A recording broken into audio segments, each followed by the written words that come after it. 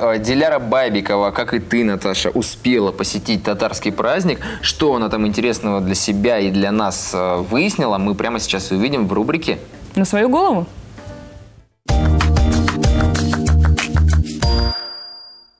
Самое доброе утро! Друзья, вас не удивляет, что я нахожусь в центре города в национальном костюме? На самом деле ничего удивительного, потому что в Ярославле сегодня Сабантуй!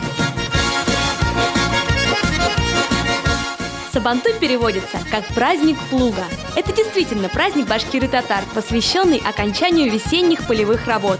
Народ отдыхает, поет и танцует. Не обходится и без состязаний. Самое захватывающее – «Достань петуха». А здесь у нас находится любимая забава. Нужно залезть за петухом прямо наверх по столбу. Участвуют самые сильные крепкие мужчины. Попробую я. Главный приз – это набор инструментов. Мне как бы не очень интересно, но попробовать очень хочется. Я пошла.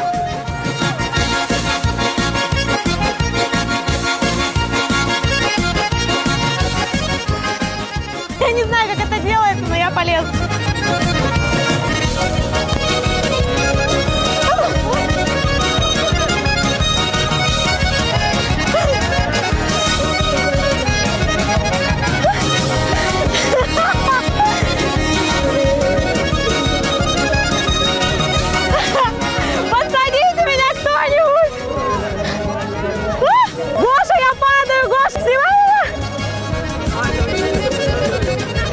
Снимай меня! Ну, в общем, петуха я, конечно, не добыла, но всеобщее, мне кажется, одобрение получила как минимум. Устала. Пора бы и подкрепиться. Познакомимся с национальной кухней.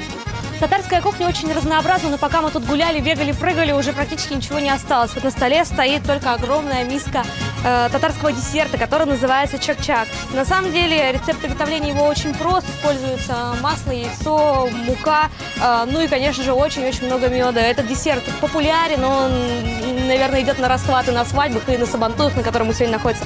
И на самом деле он очень-очень вкусный. М, Попробуйте. Так не оторвешься.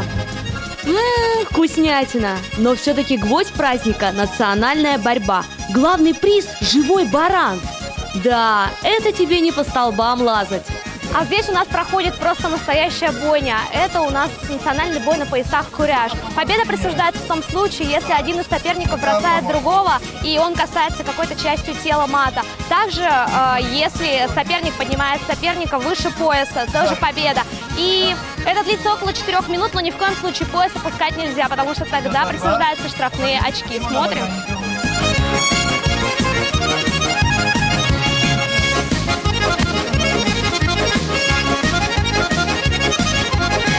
Наш настоящий татарский батыр.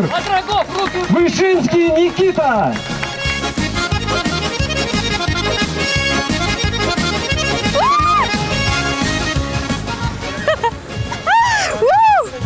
Ну что, вот я получила мешком по голове, также заработала множество ссадин от столба, но тем не менее получила также массу положительных эмоций. Друзья, Сабантуй, здорово, здесь, по-моему, весело всем. И я проверила сегодня это на себе. Самым добрым утром, друзья!